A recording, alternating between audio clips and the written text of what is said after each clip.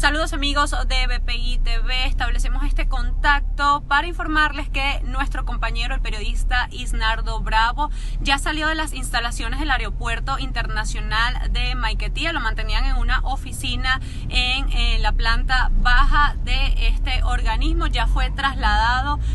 presumimos, hasta eh, la Dijesin en Boleíta, mientras él estaba retenido, había familiares del periodista, entre ellos su hija de 11 años, con quien iba a salir del país esta mañana cuando fue detenido por los funcionarios indicándoles, eh, todavía no sabemos exactamente qué, pero sí fue privado ilegítimamente de su libertad. Minutos antes de ser liberado, un funcionario salió de la oficina y pidió a los familiares se retiraran de la puerta en la que no se podía ver nada y luego, unos minutos más tarde, salió el periodista con sus maletas acompañado de unos dos hombres fuertemente armados con armas largas, chalecos y luego no pudo tener mucho contacto con su familia, lo acompañaron hasta una camioneta en la que sería trasladado hasta el Dijesín de Boleíta. En este momento estaría siendo trasladado nuestro compañero Isnardo Bravo. Nosotros vamos a estar muy pendientes de esta situación y llevándoles cada uno de los detalles.